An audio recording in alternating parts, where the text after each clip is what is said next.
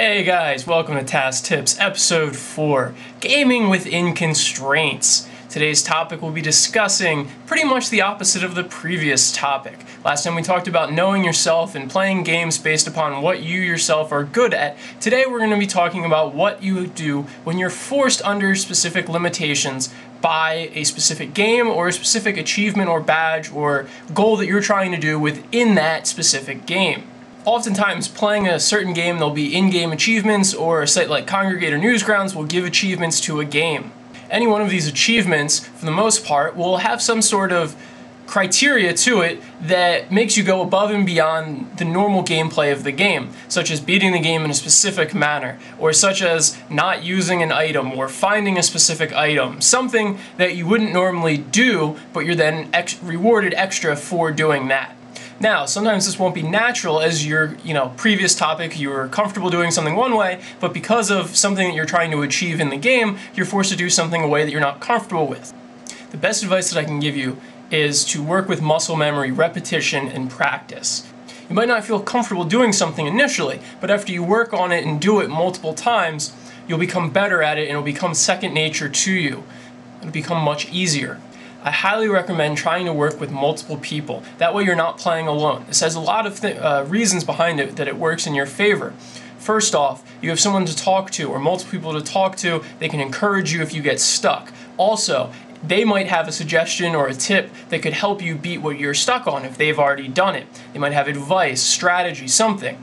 Thirdly, you all could be stuck in the same spot, but collectively bouncing ideas off each other functions like a think tank. Therefore, one of you might come up with an idea that'll uh, turn a light bulb switch on in someone else's head, and one of you will beat it, which will springboard the rest of you and further your progress along in the game. This is where a site like Kongregate comes in handy, using this, the chat that they have. Get together with your friends, play in the chat, talk with each other, work together it's helped incredibly for those of us in the chat room impossible is nothing. Myself Rubix snapple yoda rushy insane Zaris, uh, 100 other guys who i'm not thinking of off the top of my head. We've all worked together many times in many different games to help each other through it if one of us is stuck if we're trying to optimize. So a short topic uh, I have a little surprise for you at the end. But lastly, I just wanted to say that if you do get stuck and you do get frustrated to the point where you become really mad and you want to start breaking things, take a break. Getting frustrated most of the time will only make your gameplay worse. You may notice that you'll plateau, and then all of a sudden, things that you were hitting and you were uh, able to accomplish, you're no longer able to do. Take an hour, take two hours, you know, go read a book, see a movie, take a shower, whatever, do something else, come back to it later. You'll be relaxed, you'll be able to think clearly, you probably will have a little bit of freedom to your gameplay. It'll help you. Now, if you don't do this, I'd like to share with you what will happen. This is a three minute little long montage that I recorded last night, courtesy of Oddgoo's new game, Amberial Axis, which you should all try. This game is incredibly difficult, and my good friend Mr. Rubix was attempting to beat some of the later levels in this and did not heed my advice to stop when you become frustrated. So enjoy the hilarity, and while you do, I'm going to eat a burrito. Oh! Fuck! Damn it! fucking tired of this level. God damn it. Fuck. Fuck. Careful. Yeah. No.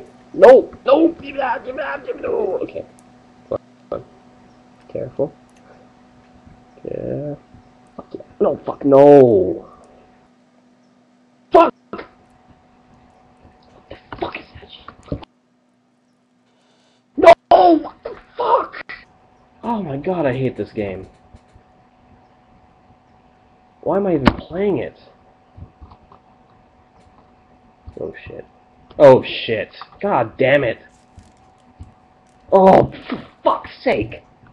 Yeah, come on, bounce on that shit. Bounce on that shit. Yeah, like a cock. No! Oh, come on!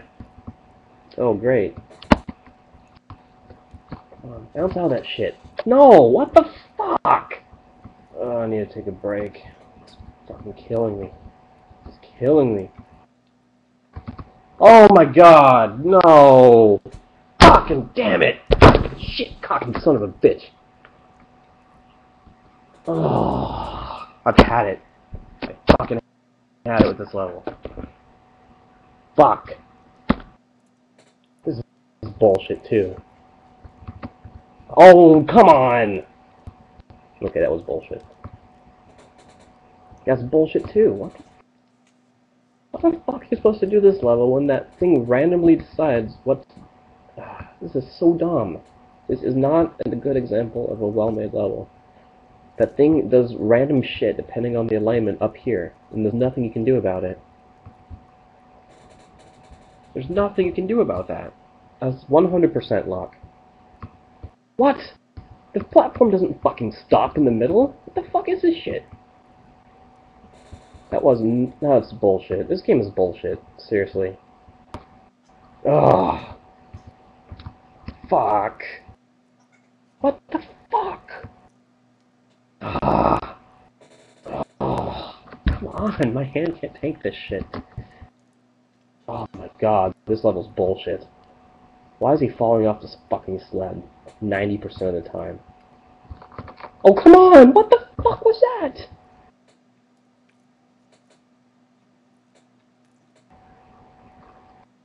Yes!